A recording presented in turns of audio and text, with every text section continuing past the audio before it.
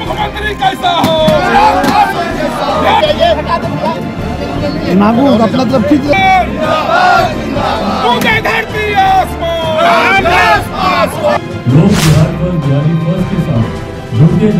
हम लोग के विश्वास बढ़ाता है आने वाले बिहार पर जारी फ़र्ज़ सरकार बिहार में बना सके इस सोच के साथ हम लोग नमस्कार, मैं ज्योति शर्मा और आप देख रहे हैं लाइन आज लोक जनशक्ति पार्टी रामविलास अपना तेईसवा स्थापना दिवस मना रही है। इस मौके पर पार्टी के राष्ट्रीय अध्यक्ष चिराग पासवान के साथ पार्टी के तमाम नेताओं और कार्यकर्ताओं ने कार्यक्रम में हिस्सा लिया। चिराग ने अपने पिता को श्रद्धांजलि दी और उसके बाद केक काटकर पार्टी का स्थापना दिवस मनाया।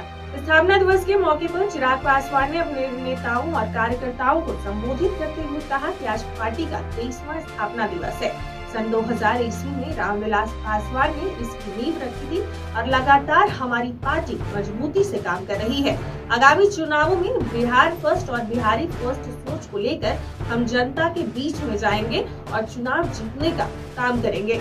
दो हज़ार में हमारे नेता आदरणीय रामविलास पासवान जी ने लोक जनशक्ति पार्टी की नींव रखी थी। देखिए, मैंने रणनीति के बारे में मैंने ज़िक्र किया, बिहार फ़र्स्ट, बिहारी फ़र्स्ट को, जनता के बीच लेकर जाना।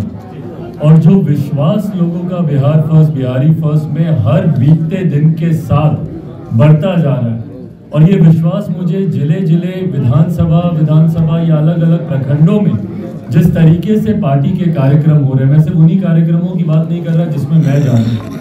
मैं तमाम उन कार्यक्रमों की बात कर रहा हूँ जिसमें पार्टी के तमाम हमारे राष्ट्रीय नेता जा रहे हैं, तमाम हमारे प्रदेश के नेता जा रहे हैं। अगर आप उन कार्यक्रमों को भी देखें, जिस भव्यता के साथ अलग अलग क्षेत्रों में ये कार्यक्रम आयोजित हो रहे हैं और भारी संख्या में जिस तरीके से लोग बिहार फ़र्स्ट, बिहारी फ़र्स्ट के साथ जुड़ते जा रहे हैं, ये हम लोग के विश्वास को बढ़ाता है।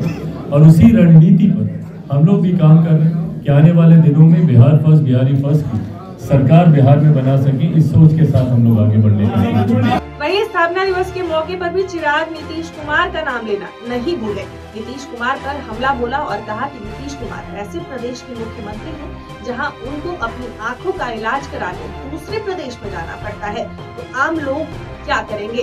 नीतीश कुमार अपनी उपलब्धियाँ बताएँ। उन्होंने क्या किया है?